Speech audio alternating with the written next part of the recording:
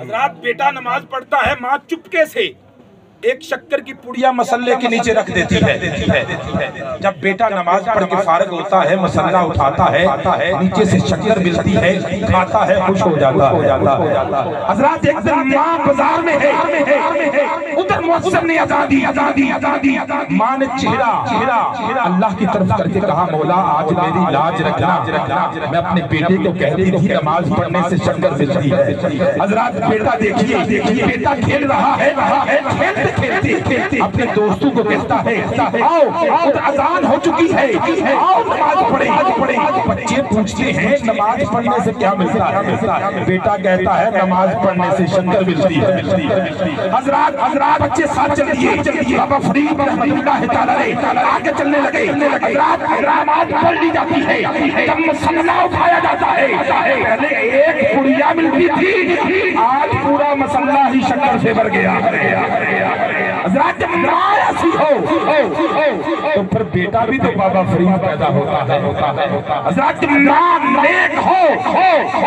تو پھر بیٹا بھی تو داتا علی حجویری پیدا ہوتا ہے۔ ماں اگر اللہ اللہ کرنے والی ہو، ماں اگر لوری کی جگہ درود پاک پڑھنے والی ہو، تو پھر بیٹا بھی تو شاہ رسانی پیدا ہوتا ہے۔ حضرات گرامی قدر نماز کا کردار انسان کی زندگی میں بہت اہمیت رکھتا ہے۔ آئیے میں اپنی سب کی ذہین سماعتوں سنا خان مصطفیٰ بے بدل سنا خان بے بدل نقیب محفل میرے شہر جنوالا کی سکن بخش شخصیت جو کسی تعرف کے محتاج نہیں ہے جناب پروفیسر زاہد علی زاہد علی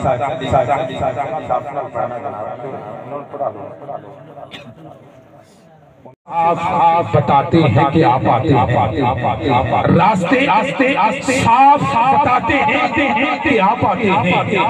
لوگ محفل کے سجاتے ہیں کہ آپ آتے ہیں۔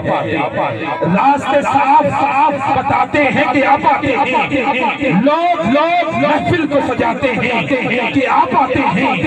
ان کی آمد کے پیامی ہیں۔ سبا ارے پھول پھول شاخوں کو ہلاتے ہیں کہ آپ آتے ہیں۔ اور چاند ستاروں میں نصیر۔ آج بڑی حلچل ہے۔ چاند ستاروں میں نصیر۔ آج بڑی حلچل ہے۔ یہی آثار بتاتے ہیں کہ آپ آتے ہیں۔ الطاف قاضمی لکھتے ہیں بن رحمت کے۔ طلبگار چلے آتے ہیں۔ رقص کرتے ہوئے محکار چلے آتے ہیں۔ ارے پیچھے پیچھے سرے حشر گناہگار تمام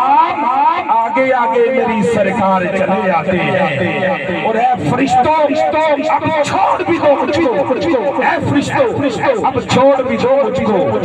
وہ دیکھو، میرے عیبوں کے خریدار چلے آتے ہیں۔ اور محفل نات نات کو دل سے سجائے تو الطاف تاف تاف ارے نات سننے میری سرکار چلے آتے ہیں۔ آئیے، داتا نگری لاہور سے تشریف لائے۔